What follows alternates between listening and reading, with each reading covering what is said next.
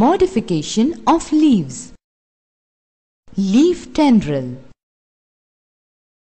In pea plant, leaf is modified into thin, wire-like coiled structures called tendril. It supports the plant as it climbs up. Gloriosa also has leaf tendril. Leaf spines.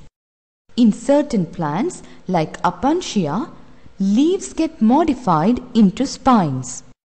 In Mexican poppy, spines which develop on the margin of the leaf help in protection.